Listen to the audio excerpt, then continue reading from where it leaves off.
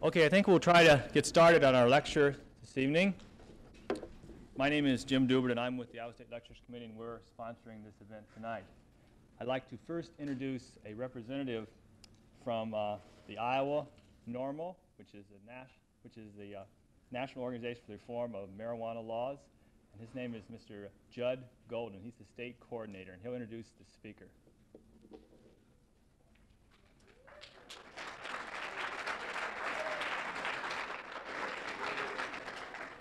Hello. Uh, thank you, Jim. I'm glad all you people could be here tonight. It was on very short notice that I knew Bob Randall was coming into Iowa. Uh, I had heard about Bob about a month ago or a month and a half ago when I was at NORML's National Convention in Washington, and I was familiar with his case and his problems before that time. Uh, I'll tell you a little bit more about Bob later. I'd first like to tell you a little bit about NORML and what we're doing here in Iowa. As uh, Jim said, we're the National Organization for the Reform of Marijuana Laws. We, uh, I'm the state coordinator. I'm an attorney in Des Moines. I just do it on a volunteer basis. And uh, there were a number of people up here in Ames last year who helped me do that volunteer work. And what we, we're trying to do and what we did last year is got a bill introduced trying to remove the criminal penalties for the simple possession, use, and cultivation of small amounts of marijuana. Uh, our proposal didn't have anything to do with the sale or possession with intent to deliver, unfortunately. We didn't get through the bill last year. People have to realize that I feel as strongly as anyone else that what I'd like to see is someday that marijuana be legalized and that we have a full marketplace just as we do with alcohol and tobacco. But we have to be realistic, and that's what I think NORML's strongest point is. So we try and be realistic in dealing with the issue in a way that we think we can get some reasonable legislative response from. And we've been successful in eight states, and I think there's a real good chance we can do it in Iowa. But we need people to let their legislators and to let the people around them know what we're trying to do. And we just don't want people to go to jail for simple possession and use of marijuana. We don't want them to be arrested. We don't want them to have criminal records. And it's happening now. 2,500 people in Iowa were arrested last year for simple marijuana possession and 416,000 nationwide. And we just want that to stop. And it's a serious matter, particularly for people who are the victims of marijuana prohibition. And people you know who are arrested are, and Bob Randall is one of the most glaring examples. Bob is uh, a part, is taught college in uh, Washington, D.C. He found out uh, that he had glaucoma sometime while he was in college, and he found marijuana helped relieve the intraocular pressure, that pressure which builds and progressively makes you go blind. Bob will tell you exactly what, is, what, what it feels like, and he'll also tell you what the marijuana did. He'll tell you what, he'll tell you what bureaucratic problems he had in trying to convince people that he needed marijuana to save his eyesight, to stop from going blind. It's an amazing example of bureaucratic bungling.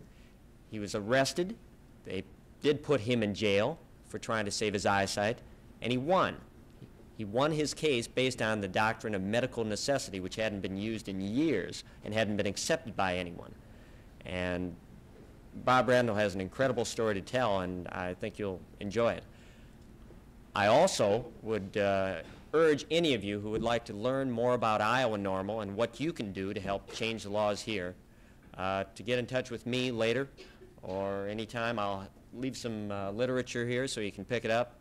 And we just work on a volunteer basis. We just try and get people to help. And any of you who want to try and help me do it, I, would welcome it. Uh, I'll, now I'll let you hear Bob Randall.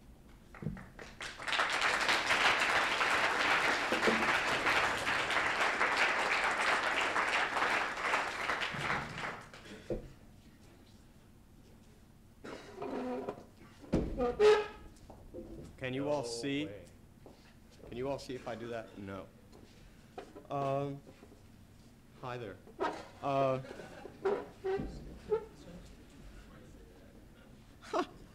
terrible.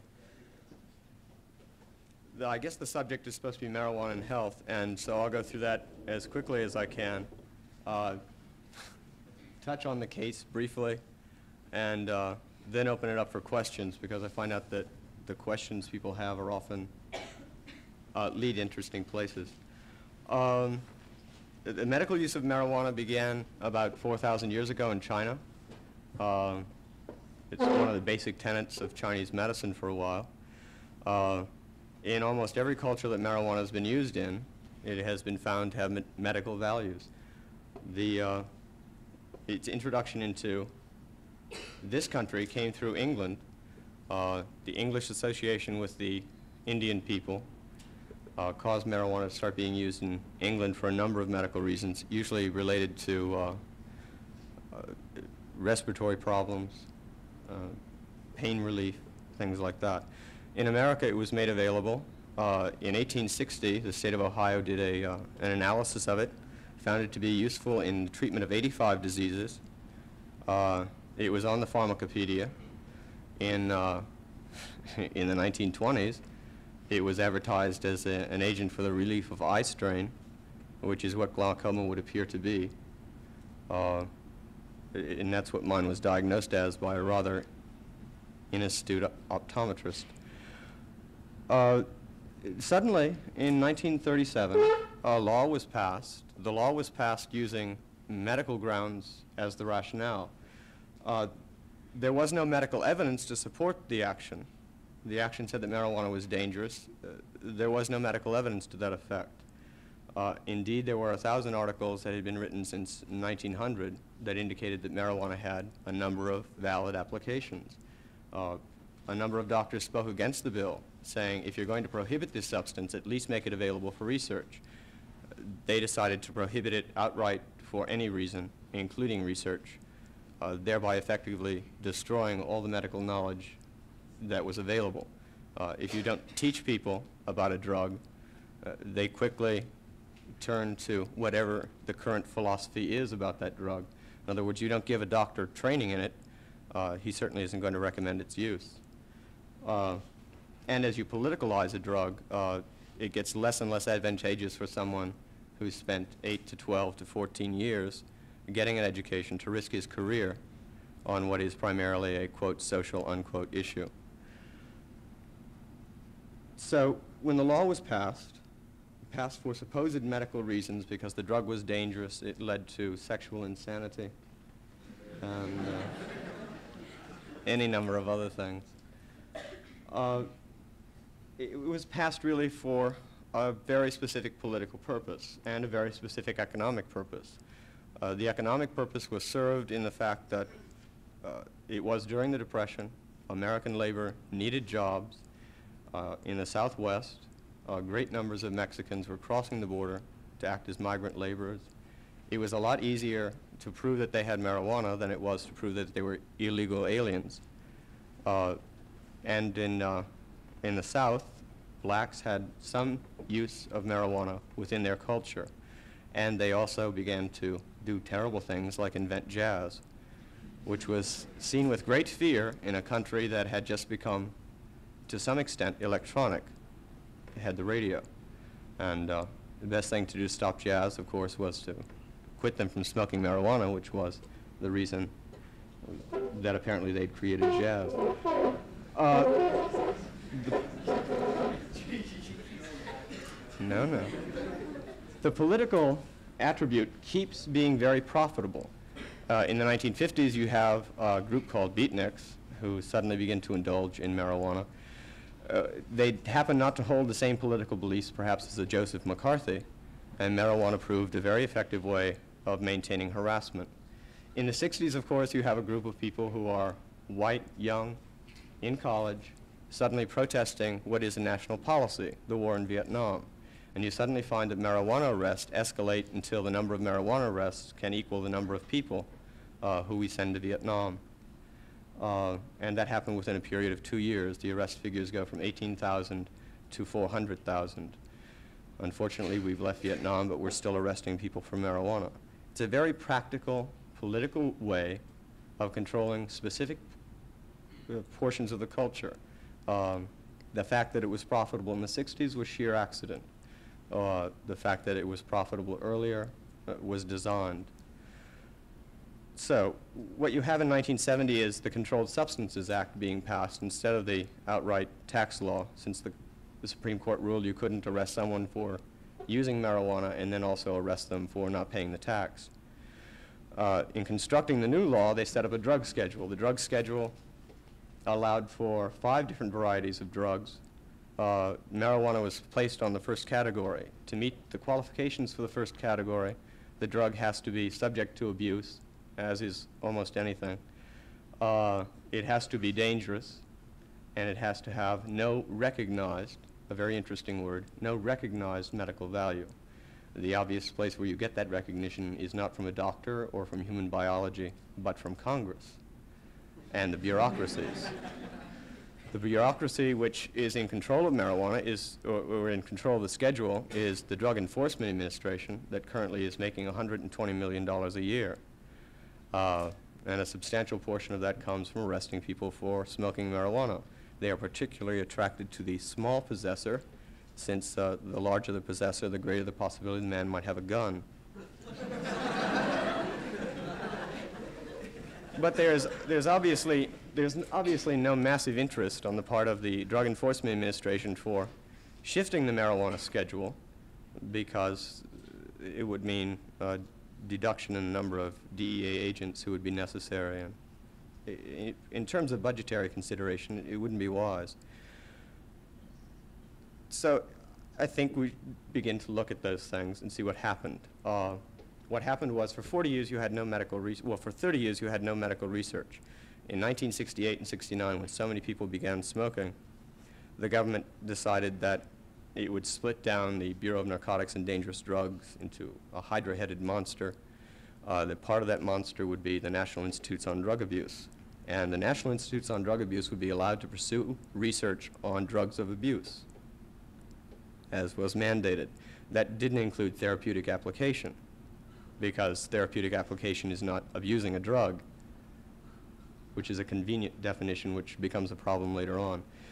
By 1970, you have people beginning to complain about the lack of availability of marijuana for research, even though there is a whole agency to handle that research. Uh, the problem is that if you decide that you want to get marijuana and you're a doctor, you can't go to your local pusher, which everybody else around you is doing, since you're usually in a college environment. Uh, it, it must be a very disturbing experience for a researcher to watch Charlie run out and buy his pound of marijuana while you're dealing, first of all, with the school that you're enclosed in and getting them to agree that you can do this dangerous drug research on marijuana.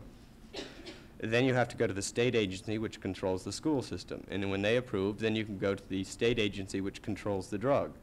And if all those people can agree, and they all must agree, which is a complexity because you start dealing with larger and larger numbers of people, you can go to the federal government and you can go to NIDA. And if NIDA approves it, then you can go to FDA. And if FDA approves it, then you can go to the Drug Enforcement Administration.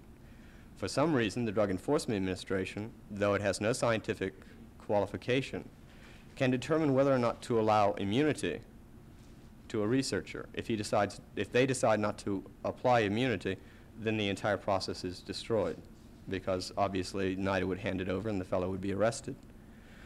Uh, that process takes a, about a minimum of two years before you can begin doing the research. Once you begin the research, you have to have a 750-pound safe to keep the dangerous substance in, since it is defined as dangerous, and you, you have to make sure you don't divert the supply in any way for any other purposes, and therefore there are very incredible forms that are used. While I was at UCLA, um, as a research subject, I was, each joint of marijuana was supplied to me in a manila envelope. Each manila envelope was stamped with the date it had arrived. You, you tore open the envelope.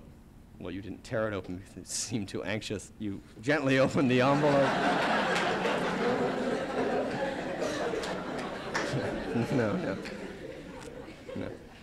You gently opened the envelope. Uh, record the serial number that also came with it, record the date it had been processed, record your pulse at the time, smoke the joint. Now, you didn't just throw the roach away, you put the roach back into the manila envelope, made sure it was out, sealed the, the manila envelope.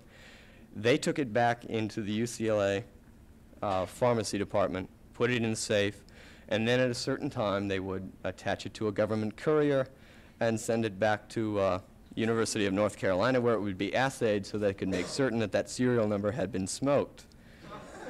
and to make sure that the contraband substance had not been replaced by a less noxious weed.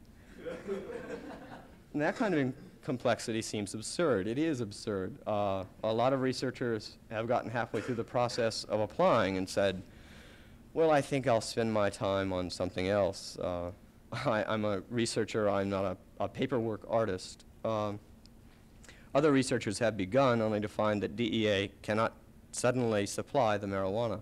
And so they'll find themselves in the middle of a research program and the marijuana will be cut off, effectively destroying any results from that segment of the program. These are all problems which continue to exist. Now, my own situation uh, is that I have glaucoma. In 1967, the symptoms of that disease became obvious. The symptoms are simply rings around lights, very pretty, tricolored, uh, dangerous. Uh, it was diagnosed uh, by an optometrist who unfortunately knows how to make glasses but little else as eye strain. In 1968, I began smoking marijuana simply because I was in college uh, and recreationally enjoyed it a great deal. Um, in 1972, I'd moved to Washington and was reading a book one day and closed one eye and realized I couldn't see the book with the other eye, indicating that there might be some kind of ocular problem. I, uh, I got myself to a doctor of optical problems, an ophthalmologist instead of an optometrist, and he said that I had open-angle glaucoma. It was quite advanced, and placed me on uh, conventional medications for glaucoma. About uh, a year later, I was having rings again and uh, smoked a joint, and the rings went away, and immediately said, "Oh, this means a lot." Uh, and it was a very odd impression. I mean, everything became very clear very quickly, uh, so quickly that I couldn't think it all through properly, and so forgot it. Uh,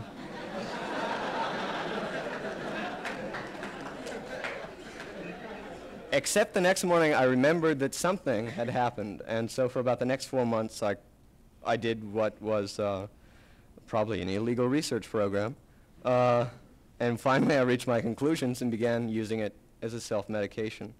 The great problem when you're dealing with uh, a medication that's contraband, that's not available, is that it's, it's not always available, that the quality is not controlled, and so you do an odd thing like you start growing your own medicine. Uh, to make up for those uh, terrible periods where there are breaks in supply. And then you do a terribly silly thing. You go to see the Indiana State Fair and leave your house for a number of days. Uh, while I was gone, I live on a second and third story, and the marijuana plants were on the second story. It was a dead-end alley. There was a large fence. No problem. A lot of plants. My neighbors put 10 marijuana plants out on their fire escape in full view of the alley the police noticed their marijuana plants, climbed up onto the fire escape, noticed my marijuana plants. The people noticed the police, removed their marijuana plants, and I was arrested. Uh, I came home from the vacation to uh, find an, a search warrant on my uh, kitchen table. Real down. Uh, got myself some lawyers, explained to them that I was using the marijuana medically. They didn't laugh, but they said, prove it uh, which was my first shattering experience. I thought the lawyer would prove it, but no. Um, but the next interesting experience, I mean, I'd known this since 1973. This is a, a, decision which potentially affects, at the minimum of 2 million and probably 6 to 8 million people. Uh, the law had effectively prevented me from going and announcing from every rooftop that I had made a great discovery the odd thing was, two weeks after I was arrested, I found out that UCLA had done research in 1970, had codified the effect, had in a clinical research program as opposed to a therapeutic research program, uh, detailed the evidence to the effect that uh, reports like the Marijuana and Health Report to Congress, which is published by DEA, about 140 pages long on page 120 in a very small paragraph, mentioned that glaucoma responded well to marijuana and that was its greatest potential therapeutic benefit. Uh, I mention all of that because it's upsetting to know that after six years, uh, evidence of a significant therapeutic value that relates to six million people not only wouldn't be pursued by an individual who founded who had no medical expertise, but would not be pursued by a government who was informed by medical experts. In other words, there was nothing done aggressively.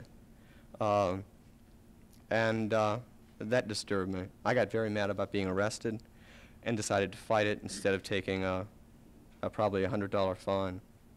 And it seemed interesting. Um, UCLA accepted me as a research subject. I was there for 10 days. Um, they ended up saying, well, everything that you think was right was right, and uh, here are the numbers, you need to codify it. That placed uh, a strain on a number of people, particularly the bureaucracies who had allowed UCLA to do the research. They never expected that someone would enter the system this way. Uh, one of the things that was critically important at UCLA is I found out that there were dose values to marijuana, that the government had codified at least three dose levels, 1%, 2%, 4%, that the effect on glaucoma was very much dose related. And so suddenly, instead of just thinking about criminal court and uh, getting out of a crime, I began to think about obvious future things like access to a controlled substance that has quality control behind it, making that access legal. And so what I did was I petitioned the uh, Drug Enforcement Administration. The Drug Enforcement Administration got very worried, uh, particularly when it was pointed out to them that the evidence also appeared on written paper that had government seals. Um, they immediately thought the best idea was to refer it to another bureaucracy, so they chose Food and Drug. Food and Drug picked it up and decided that it was best that they refer it to NIDA. NIDA decided that they couldn't refer it anywhere else because they were the end of the line. So NIDA decided that the most efficient way of getting me marijuana would be to uh, set up a research program. It also turns out that that's the most politically advantageous way for NIDA to handle it because it doesn't begin to threaten the code, which says marijuana has no known value. See, if you're still researching it, you don't know it yet. Very convenient. Um, NIDA finally got it together. Uh, the most difficult part of getting it together was to find a doctor because no doctor wanted to become involved in a drug that was very highly politi uh, politicalized. Uh, it went back through the, the bureaucracies in the opposite way it came out. And finally, for any number of reasons, the news was leaked uh, about a clinical research program. In the leak, there was an unfortunate mistake. Certain things were included and the story began to expand until it hit its proper proportions, which was a person will be allowed to use marijuana on an outpatient basis. Using marijuana on an outpatient basis created innumerable problems. The initial thing that was, was desired was for me to go to my doctor six times a day in the hospital to smoke it. I indicated that would seem difficult. the second thing that was decided was that it would be wise to give it to me but not tell anyone, that we would keep it a secret. And the reasons that we would keep it a secret would be because someone would break into my house, uh, rob me of my marijuana, and go out and commit uh, terrible crimes against humanity. I tried to point out that the police were the only individuals who had ever broken into my house. And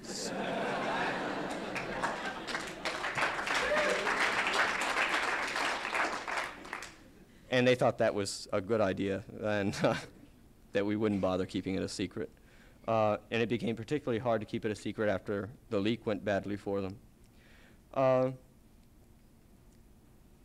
that's the basic conclusion to the bureaucratic process. The bureaucratic process concludes saying, Randall is a research subject in a research program, and that's why he gets his marijuana. And we don't know nothing beyond that. And, uh, and it's a therapeutic program, and it's the first program, but we're not going to go crazy with it and do too much of this research. Uh, it has all the semblance of a privilege you know, benign bureaucracies acting to supply a poor, helpless citizen with his need.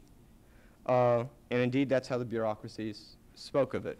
They spoke of their decision as speedy, when after six years they'd done nothing, after I began complaining in May and issued petition were not able to respond when I could prove I had a condition that was progressive uh, for six months.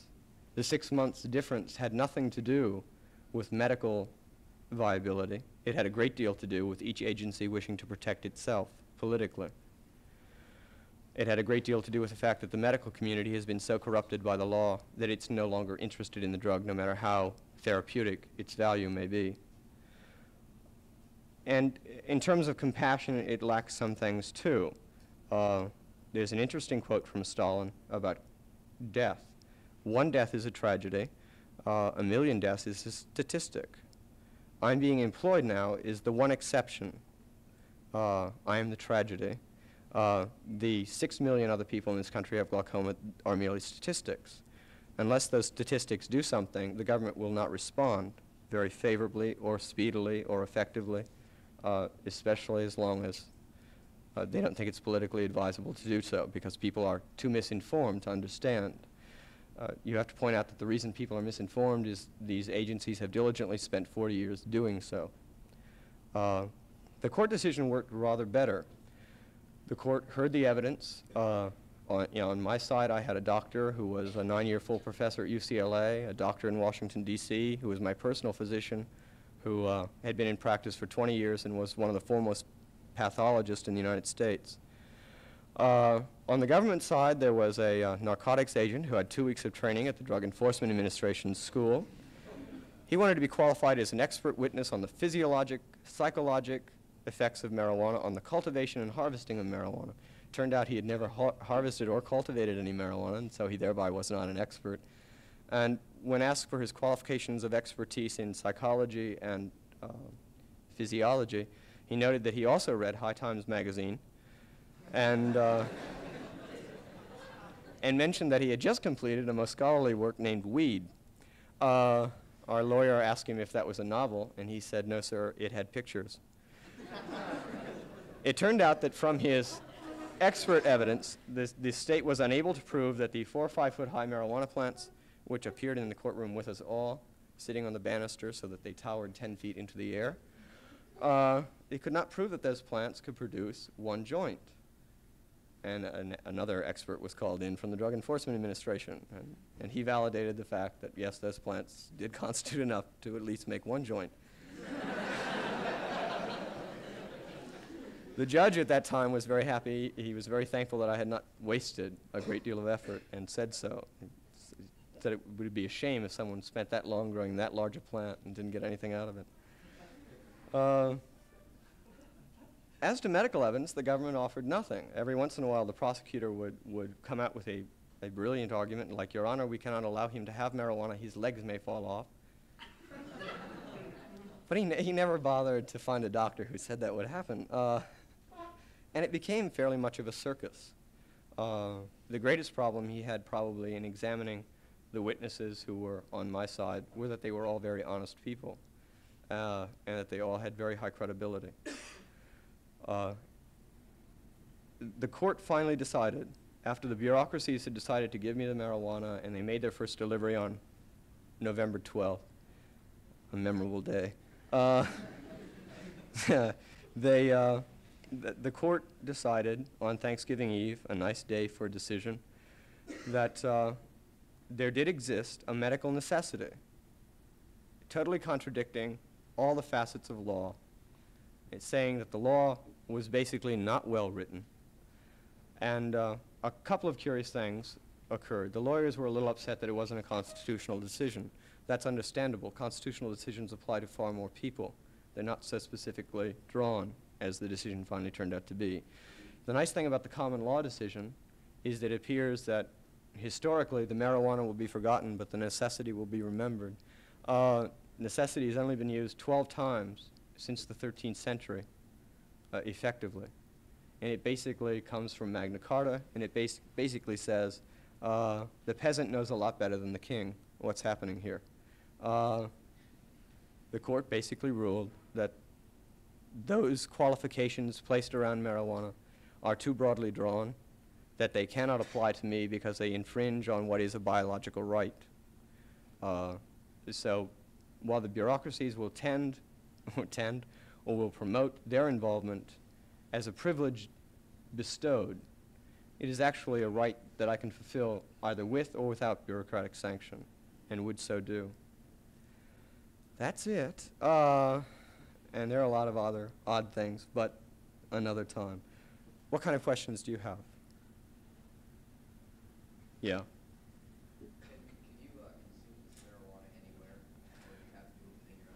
I can consume, that's a very good point, because a lot of the press accounts have said free to use it in his own home, uh, which is a bargain at any price, even there. But uh, no, I can use it whenever it becomes medically necessary to use. Uh, it's medically necessary to use about once every three or four hours.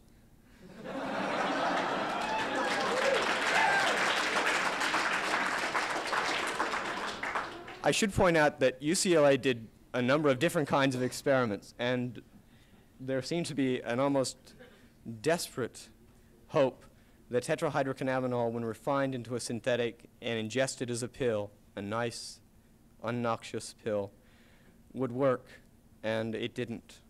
It only works at this time as an inhaled ingredient.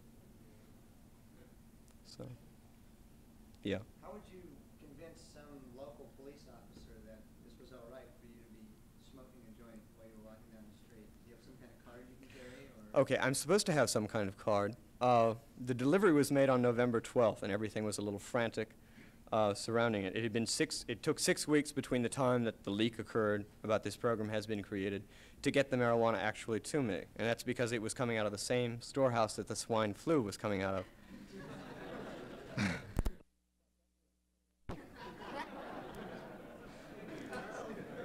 but that may that may be superpower rivalry. I don't know. Uh, anyway, there are a hundred different varieties. The marijuana is transshipped to North Carolina in huge casks that are about four feet high and equally large around.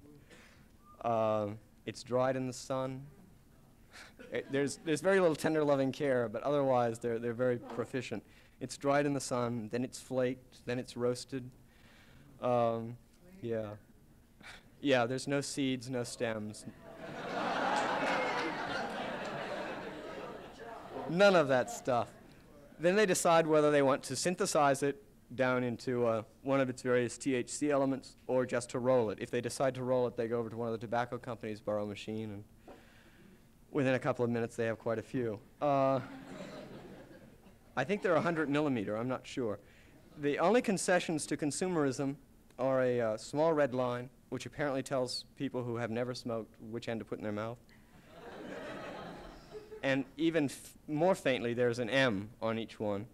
Uh, Probably, yes, well, I don't know. Probably because in the uh, research environment, they also use placebo joints, uh, where the THC has been totally leached out of them. The quality, uh, as I mentioned before, there, there are at least three qualities. It's called 1% N, 2% N, 3% N, very vague. Uh, the way they figure out the quality for the joint is they know the amount of vegetable matter, you know, marijuana leaf in each joint. It's 0.9 tenths of a gram. Uh, it seems redundant. It's 0.9 grams. Uh, and then each, each joint has a quality of THC, which is acid. Uh, the pack I have here says 2.04 delta 9 THC, which is substantial. Uh, the joints, the joints are actually more substantial. Apparently, they, they didn't.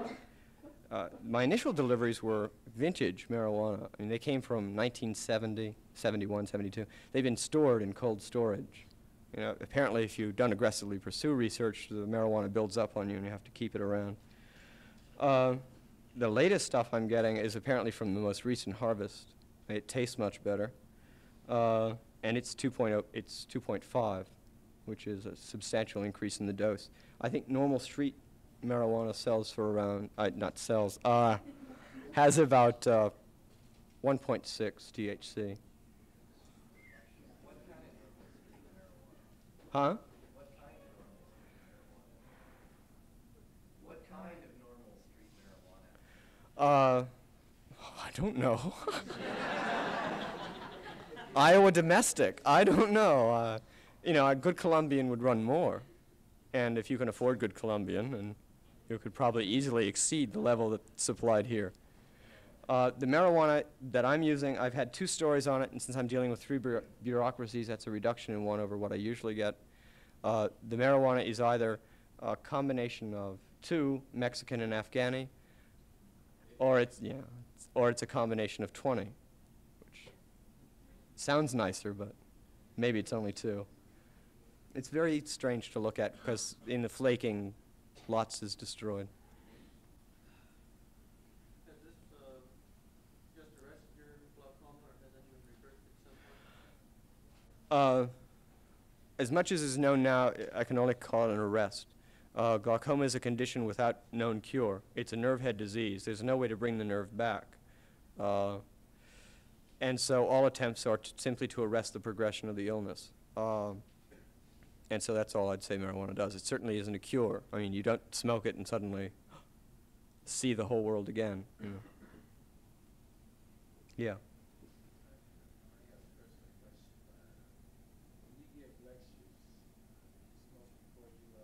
Yeah, I smoked on the way here.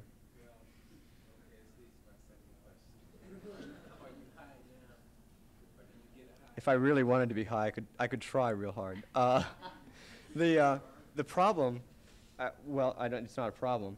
The high that you get from marijuana is almost totally psychologic. And uh, there was an Army study done in 1974, which wasn't released until 1975 because the results were very favorable, and only then under a Freedom of Information Act. And the results basically showed that the high was something that was not physiologic. In other words, uh, they were dealing with very chronic users, people who'd smoked for six or seven years at high levels, and uh, found that those people had totally adapted to the high. It, it didn't almost exist. And when you begin to transfer your definitions, if you use it recreational, you define the period you use it in as a recreation. Uh, when you're recreating, you don't have to think a great deal in very specific ways, and so you recreate. Uh, but, but when you start when you start defining it as a medicine, it, a lot of the thrill goes out of it. You know, when you go, oh well, you know, it's time to do it again.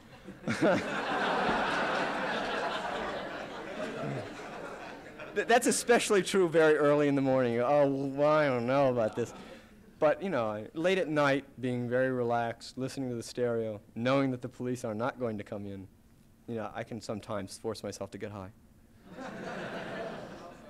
I remember in your introduction, you started explaining how marijuana came up all the way up to the middle class people and everything like that. And you said something, something about blacks uh, using marijuana to influence their thoughts on Dixieland jazz.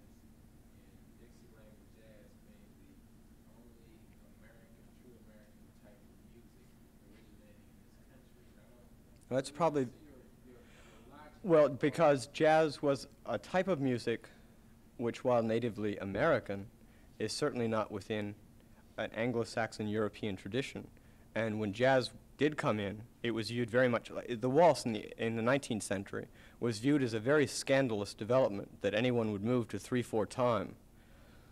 And, and jazz was much worse. It was syncopated.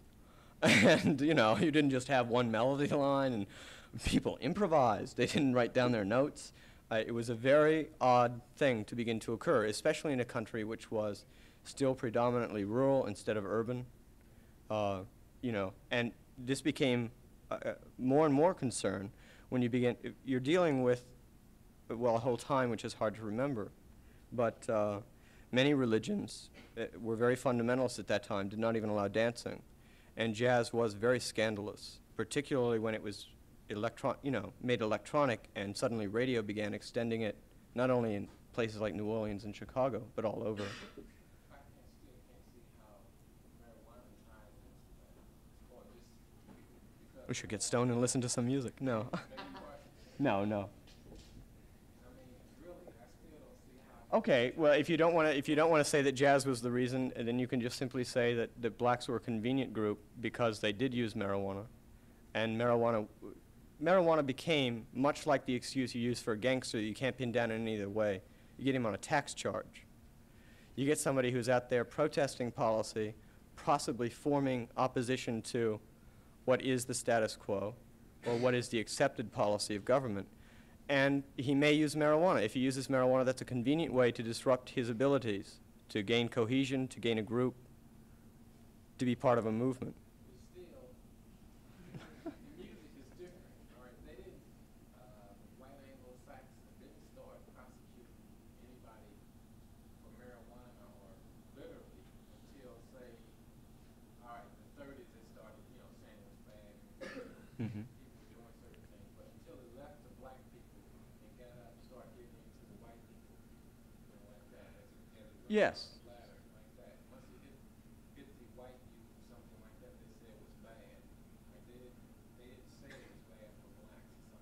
No, until, exactly. I, when Mexico, you know. Well, you're entering- oh, well, okay. Can't help you. Any more? Berlin, uh, hi, there was just an issue of five times the comments on the uh, influencing marijuana in jazz, February seventh, seven. Well, thank you. You might, you might read that article, it explains it. Right, but repeat that please, reference, I, I got There's, two copies of go it. down to the Music Factory and buy the newest issue of High Times. February seventy-seven, there's, there's an article about the influencing I should pick marijuana. that up, music factory, right? Or down in- A problem, a problem solved. Okay, what? Yeah. Yeah, in the, in that new High Times issue, it tells quite a bit about the, you know, the fact that our new President Carter might favor decriminalization and, and also the new DEA chief that he'll probably appoint. You think that we're in pretty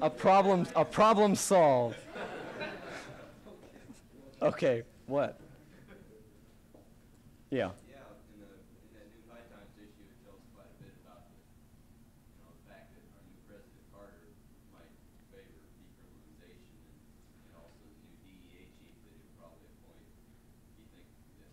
shape as far as that goes? Well, I, I think no one's in good shape until, uh, for instance, what Carter could do would he, he could force the DEA, which since 1972 NORML has been requesting to reschedule marijuana, so it could be used medically at least.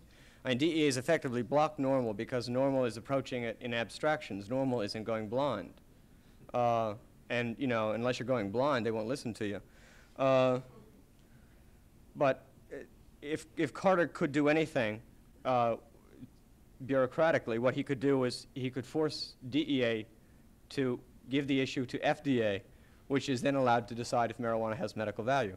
Uh, the obvious thing that would be better than that would be to go to Congress and ask them to reevaluate the law in terms of facts, because you let the bureaucracies get a hold of this and they go mad, uh, literally, uh, because each one has to be concerned about its budget and uh, neither, none of them are, are overly logical, and none of them are very brave. In other words, they have a lot of data that they're just not willing to provide people, or a lot of data that they're not willing to go to Congress and, and say, look, we found it's harmless. They don't want to say that. Uh, and if it's going to be referred to Congress, then the only thing that will help is for each congressman to be convinced that there are people who are interested in the issue and interested in such a way as if it will affect his political future. I, that seems, I tried really to believe that people would proceed rationally. Uh, they did proceed fairly rationally with me because I had all the evidence, and for them to proceed irrationally with me would have created too much publicity. But that doesn't mean that, that politicians are going to necessarily proceed rationally uh, unless they're convinced. Uh, and it doesn't mean just convincing them of the facts. I mean, you can talk to a politician and he'll say, well, I understand it's harmless and I understand this is a foolish policy, but, you know, the people in my state are misinformed. in some way, he's got to be uh, made certain that there are enough people in his area that want marijuana either decriminalized or legalized, that it will affect his political future. Otherwise, he doesn't care. He doesn't care that people go to jail because, uh, you know, he does have to get reelected. And uh, it's a very tough situation. How much federal pot do you go through and does it cost you anything? No, it's free. and uh, the uh, doses have been running from five to eight a day. Five to eight reefers a day? Yeah. Any? Um, can anybody buy Stockholm together? No. That's what I was talking about before, that since I've been made, well, you could. What you would have to do at this time would be to go through a 15-month procedure like I did, uh, if you succeeded in getting yourself arrested uh, through an act of foolishness on your part. Uh, or that you could probably begin a civil action, but they would be incredibly long. Uh, uh, the delays that you can confront are extraordinary. The research program only allows for 50 individuals. You know, and if you go by the, what the bureaucracies have provided me, they can say it's a privilege. The court case makes it a right, but each person has to demonstrate the right him or herself. Now, with glaucoma, if the person isn't too blind, that's okay, because they can afford to progressively lose a bit of sight while the government is stalling or, or trying to figure out a way. If you have cancer and you're going into chemotherapy, it already means your condition is very highly progressed, that you'll probably uh, be dead within a year, a year and a half, or two years, uh, especially if you're on intensive chemotherapy. Uh, if marijuana has many medical uses. One of its primary uses, it appears, is that when a person goes through chemotherapy, the theory of chemotherapy is, is very blunt. It's not a very refined tool. The theory is that the body mass exceeds the cancerous mass, so you start killing it. And you figure that you'll kill the cancer before you kill off the patient. Uh, the drugs are non-selective as to cancerous or non-cancerous cells, and uh, because they are so toxic, so poisonous, the drugs, uh, it causes severe nausea, people can't eat, and they become very depressed. They also have a weight loss that's tremendous, sometimes 50% of their body weight, uh, which isn't the best way to recover from a disease like cancer, to lose body weight and become very weak. Uh, in India, 3,000 years ago, marijuana was used to prevent nausea. They have just discovered that marijuana prevents nausea in cancer chemotherapy patients. Uh, and this is uh, something that they're, again, not pursuing very effectively or forcefully. Uh, and I, you know, if what the, chemo what the marijuana does is it stops the nausea, but it also has it ends up having people beginning to eat things like hot fudge sundaes and pretzels. True. In one program, a Baptist minister decided that uh, one of the problems with being a research subject is, especially if you're an in-hospital research subject, is that you can be exposed one day to marijuana and not throw up and eat hot fudge sundaes and have a great time, and the next day, to make sure that the marijuana was working, you know, uh, they give you a placebo, which means that whole day is spent throwing up and not wanting to eat and feeling very miserable. Uh, a number of people have left projects for that reason. They just go, I can get it on my own outside a lot easier than this. And uh, no, they just leave. But a person with chemotherapy would never live through the process as it's now designed. And uh, I think that's a fairly good indictment of the way it's now designed. Yeah. Where do like people like us start, like if you were Well, I, I would probably say, you know, that, that terrible cliche, write your congressman and senator. I found out that congressmen and senators really do read their mail. And, uh, and that even if they don't read each letter, what they do is they put the letters on their desk and they go, this many people are for it, this many people are against it, a bigger pile is for it. I think I'll vote for it. Uh, it becomes basically that simple. And if they know that pressure is there, they'll respond. Uh, not only would I write local congressmen and the two senators from this state at the national level, because I have a good feeling that there are going to be a number of bills introduced to decriminalize this year. I have some hopes that when I get back to Washington, I can get in contact with people now that we have a government again, and uh, and see if something can be done to include a discussion of the medical need. In addition to the senators and congressmen, I would also recommend writing the Department of Health, Education, and Welfare Secretary and the Attorney General, since both of those people control the sub-agencies that are doing that of the present structure.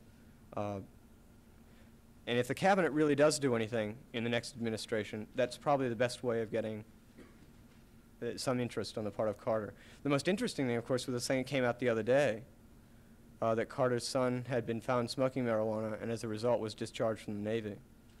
Uh, and it indicates that, uh, well, not only indicates that the president's son smokes marijuana, smoked marijuana, he doesn't smoke anymore, uh, but uh, it also indicates that his son's life has been deeply affected by that smoking and by the law, which would probably reinforce his, his attitude toward decriminalization.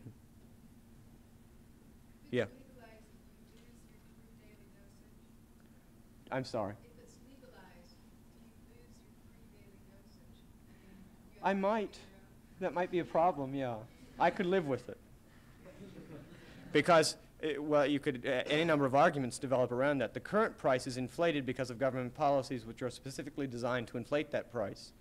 And uh, if the government remained the only out, outlet facility for controlled, regulated marijuana, in other words, medical marijuana, uh, then you could begin antitrust action because they have a monopoly uh, and force the price down to what it would be in a competitive market, a nickel for a ton.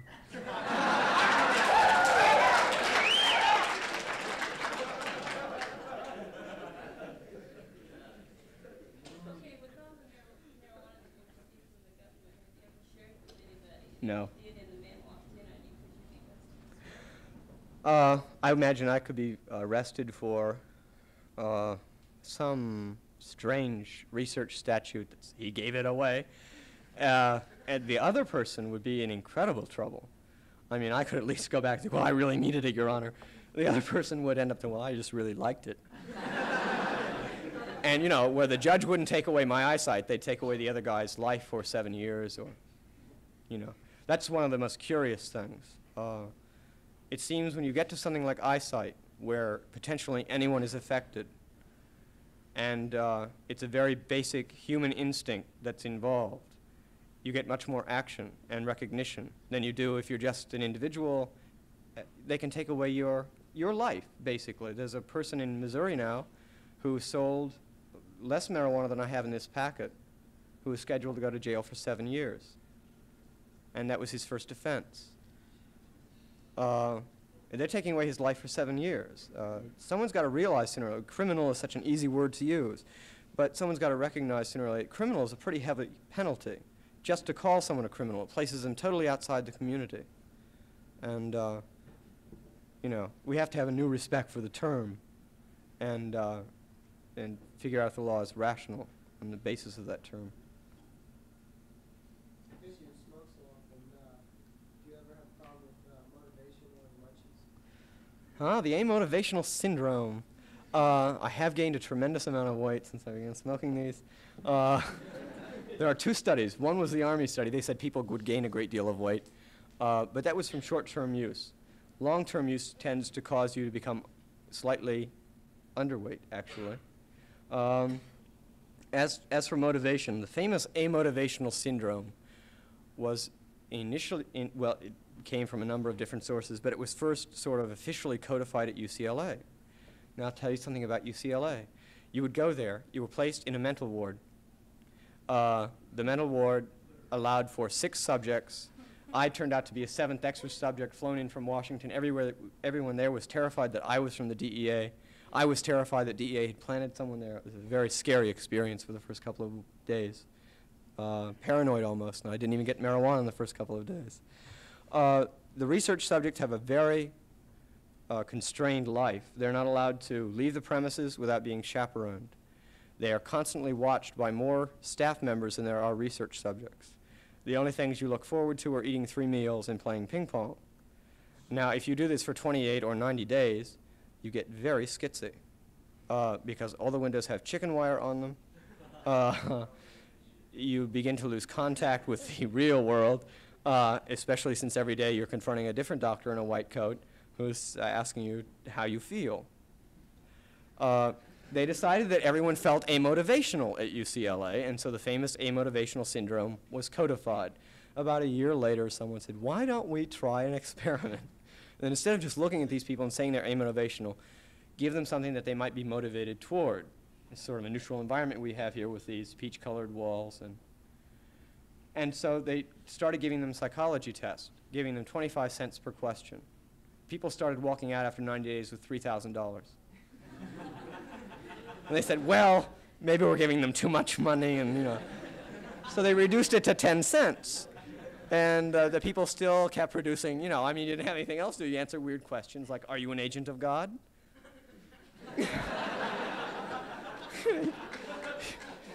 you, get, you get 10 cents for that answer, and how long does it take? I mean, you know. Are you in trouble with the law? I had a great deal of trouble with that one. I finally said yes, and it was marked down later as a psychological problem that I had. you know, I, They finally lowered it to five cents before they quit the experiment. Even on five cents, they were losing too much money. Uh, the amotivational syndrome is a fluke of the imagination. It's what happens when you do something recreationally. Uh, when you're recreating, you don't seem to be motivated to do very much but play. And uh, Einstein doesn't come up much. In Jamaica, uh, culture determines use. Culture determines how it's used, uh, what people think of it, uh, which would indicate how psychological the high is. In Jamaica, it's given to small children as a drug which will motivate them to learn in school and help them retain the information they receive in class. You know, which is totally opposed to our opinion. You. Yeah?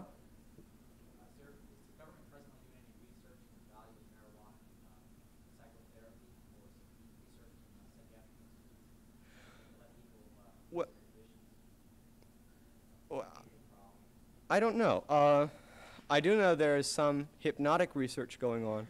Marijuana is apparently very much an aid to hypnosis. I also know that most of the people who deal with it, marijuana, in the medical profession are psychiatrists, uh, probably because psychiatrists feel less inhibited about doing that kind of thing than anybody else. Uh, it's very hard to get experts in particular fields involved, and that's one of the problems. Uh, you end up with a guy who's a psychiatrist, he can't really tell you he really can't be qualified as an expert witness on cancer chemotherapy or on glaucoma. I was very fortunate in that the doctor who was allowed to research the marijuana and its ocular effects was an ophthalmologist. Also an ophthalmologist with an incredible reputation. Uh, if he had been an ophthalmologist without an incredible reputation, he probably, I probably wouldn't have gotten anywhere. How much did it cost you to win this particular victory? I have no idea. I haven't gotten all the bills yet. Do you have any ballpark figures? Uh, I hate ballpark figures because someone might meet it. And, uh, and the, the lawyer bill is still outstanding. It costed $1,000 at least just to get the medical data necessary. You know. The oddest thing you end up with marijuana at the present time, aside from the law itself, is uh, that in, in a real situation, you have 13 million people in this country who smoke marijuana every day and they have obviously a wide variety of physical ailments. Doctors for 40 years have not been allowed to know anything about marijuana. And so you end up with a population that may know a great deal more about marijuana's medical benefits than the doctors themselves. And uh, I, I would think it would be beneficial if there was a mechanism. Of course, it would be abused, but uh, a little abuse for a lot of information might be worthwhile, where an individual could say, hey, this marijuana really helps, whatever it is he has. I know one fellow who wants to do it because it's curbed his aggression. Uh, and, and have people come forward like that, and if they can make what even sounds like a halfway plausible case, at least do the research on that one person and find out if the effect is true. Is there money available for that kind of research? No. There's, there's no bureaucracy that, that is capable of handling it because each one, NIDA only does drug abuse research, not therapeutic research. FDA doesn't do any research, which was a tremendous problem that I had because all FDA does is approve of research programs brought to it by pharm- pharmaceutical companies. And one of the problems FDA had in dealing with me was I was just an individual. I wasn't a company. And uh, that became very sticky. No company will get involved because it's illegal. They make profits, they don't make drugs. If it becomes legalized, how will it be marketed? How will it be marketed? I don't know. I, I think that's one of the basic questions that Would it be like a federal stamp tax put on like on liquor? There may very well be. There's a liquor model to, to work off of and a cigarette model. There are a number of different models that could be used. Have you smoked regular cigarettes? Yeah. Do you find any kind of similar, similar effects between marijuana smoking and regular cigarette smoking? No. In fact, just the opposite. A lot of the ways that the research is developed, in other words, a lot of the ways that something like glaucoma marijuana is related, is not because the government began with that intention. It's because the government began with a different intention. The intention when the, the ocular research was being done was to prove or disprove the fact that people's pupils dilated. Now, the reason that was important was because if their pupils dilated, you would have a clue to, his, to whether the person was smoking or not, and then you would know whether to go further and ask for, to arrest his, you know, to arrest his body. Uh, they found out that it didn't cause the pupils to get larger, but it did cause this reduction in pressure. Uh, some research was done because cigarette smoking creates all sorts of respiratory problems, uh, only to find out that marijuana might be a very good drug to use in asthma. Because totally unlike cigarettes, which constrict your bronchial tubes, marijuana opens the bronchial tubes. Uh, if you're having an asthma attack, it's a good way of getting over it. One more question, and we should, that should be it. Yeah. Do you, uh, do you have to order, now how, do you order it, or is it sent to you just on the? No, I go once a week to Howard University. Uh, the doctor at Howard University became interested uh, enough to apply for the research program because uh, black males have an eight times as high incidence of glaucoma as white males do. Uh, I go see him once a week or once every five days, uh, depending on how long my supply lasts. Uh, and we discuss the dosage that has been used and whether that's an adequate dose or needs to be increased or decreased. Then he just gives it to me. Yeah.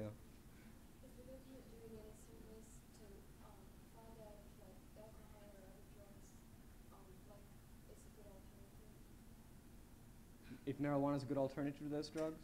I don't think the government's doing any research like that. Obviously, marijuana is a good alternative to alcohol simply because it's not toxic and uh, it doesn't cause a biological high.